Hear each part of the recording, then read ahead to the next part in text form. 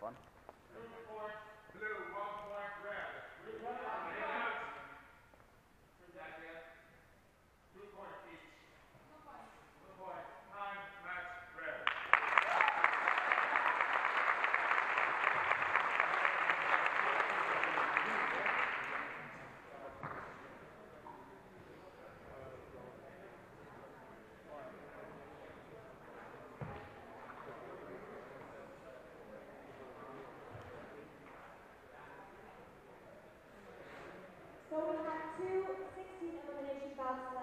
The next one, in the red corner, uh, from Russia, we have Vasily Lomachenko.